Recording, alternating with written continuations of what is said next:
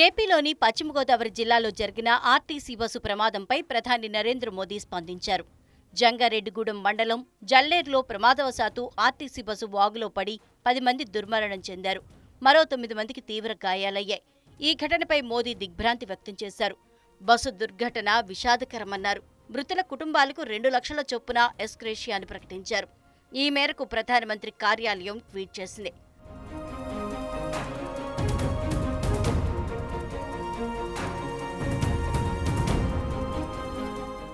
ఆంధ్రప్రదేశ్ పశ్చిమ గోదావరి జిల్లాలో జరిగిన బస్సు ప్రమాదంలో ప్రాణ నష్టం జరగడం బాధాకరంగా ఉంది. ఈ దుఃఖ సమయంలో బాధిత కుటుంబాలకు నా ప్రగాఢ సానుభూతి తెలుపుతున్నారు.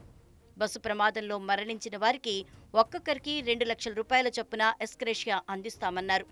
మరణించిన వారి కుటుంబ సభ్యులకు పీఎంఎన్ఆర్ఎఫ్ నిధుల నుంచి ఈ మొత్తాన్ని అందజేయనున్నట్లు ప్రధాని కార్యాలయం ట్విట్టర్లో తెలిపింది. ప్రధాని మోదీతో పాటు ఉపరాష్ట్రపతి వెంకయ్యనాయుడు బస్సు ఘటనపై విచారం వ్యక్తం చేశారు. ఈ మేరకు ఉపరాష్ట్రపతి కార్యాలయం ట్వీట్ చేసింది.